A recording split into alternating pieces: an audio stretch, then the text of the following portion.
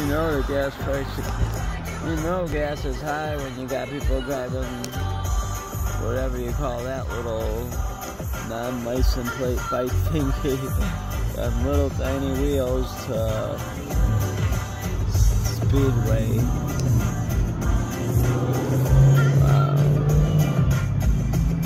There's like some Venezuela type stuff, everyone. This is a gas station in Chicago, USA. They drove that up here. You're probably drunk thinking, oh, I'm not going to get a DUI if I'm driving that. Nah, man, you can get a DUI for driving something like that. It's a motorized vehicle. You get a DUI driving a lawnmower that you could sit in. You could also get um, it from uh, driving a bicycle drunk.